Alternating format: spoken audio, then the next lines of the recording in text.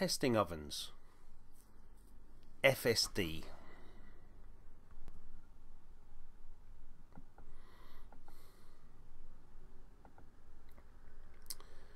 Within an oven, there are only two controls. The first one is a thermostat, which controls the heat, and the second one is a flame supervision device. This is there so that if the flame goes out, the gas valve will automatically close and stop unlit gas entering the room. FSD. This is a picture of a simplified FSD and it works as follows. The phial, which is a bulb of liquid, lives in the flame itself. It lives just on top of the burner. When the small flame heats up the phial, the liquid inside expands and creates pressure at the back of a diaphragm, which in this picture is F. The diaphragm is pushed up, which acts on a lever. When you push one side of the lever up, the other side of the lever is pushed down. At the moment, the gas valve B is shown as being closed, but it will push that down against the spring. And when that happens, gas is allowed into the main body of the gas valve and up and through to the gas burner itself, giving a high rate of gas.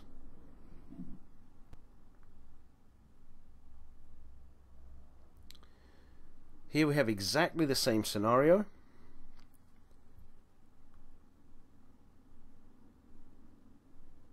Before we start, I must explain to you that in order to maintain the low rate at the beginning when you turn the oven on, there is a small bypass hole in the valve itself which allows a trickle of gas into the burner to give you the low rate.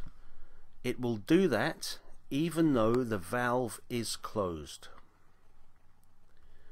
In this example, the pivot for the lever is at the top.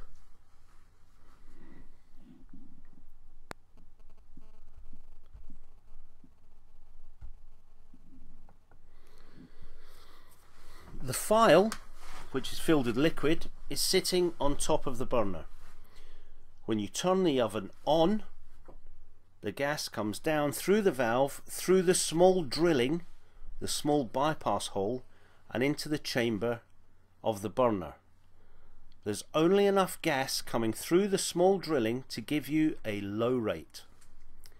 That low rate will heat the gas in the phial, which will eventually get hot enough to create pressure on the bellows which will open the valve and allow the gas through at high rate.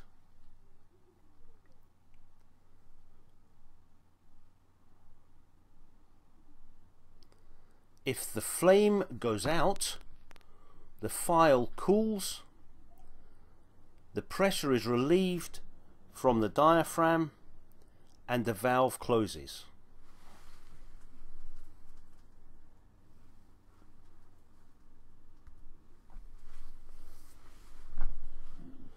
The way we test the FSD, this is testing the FSD in an oven, is very simple. We turn the oven on, we turn the oven off, and we turn the oven on again. The full scenario is as follows. You turn the oven on and you ensure it's at the low flame. If it goes immediately to high flame, the FSD must be broken it must be jammed open and the appliance is ID.